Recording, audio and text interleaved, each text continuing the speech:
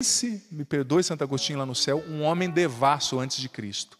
Só vivia em bebedeira, em orgia, zona de prostituição. Ele mesmo escreveu isso no seu livro As Confissões. As Confissões não diretamente, né?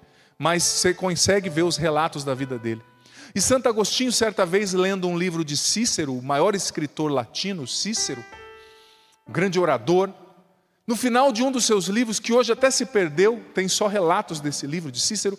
Cícero, que era um grande orador, escreveu a seguinte coisa: Não importa a oratória, o que importa é conhecer a verdade. E aquilo ficou na cabeça de Santo Agostinho.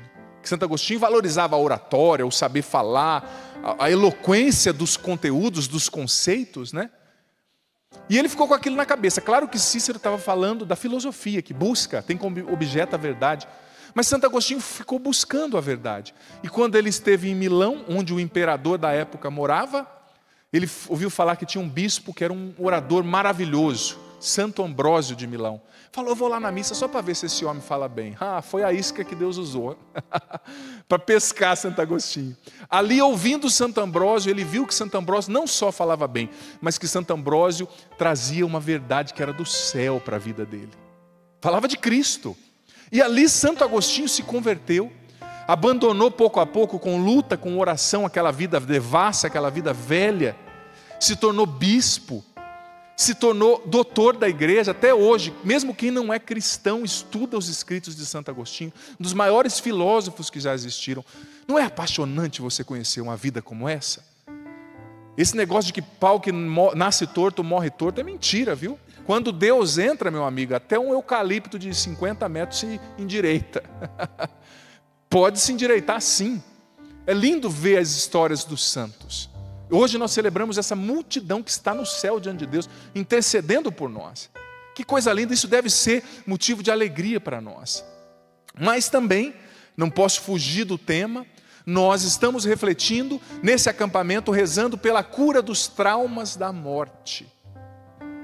E como morte, morte aqui é um conceito muito definido, óbvio, mas eu quero ampliar esse conceito, porque o que é sofrer o trauma de uma morte? É sofrer o trauma de uma perda.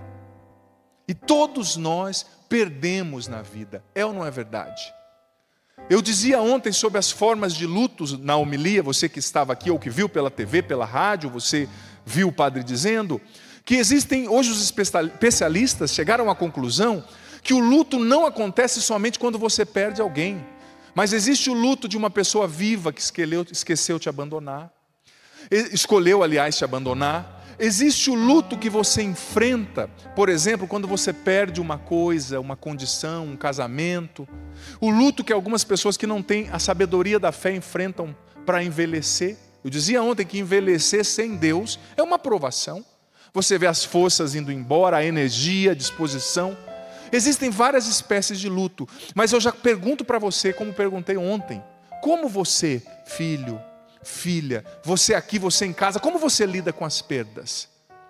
Como você lida com as perdas que você já viveu ou que talvez você está vivendo agora? Talvez você que nessa pandemia perdeu alguém que morreu por, por conta do Covid-19. Quantas pessoas já me mandaram mensagem?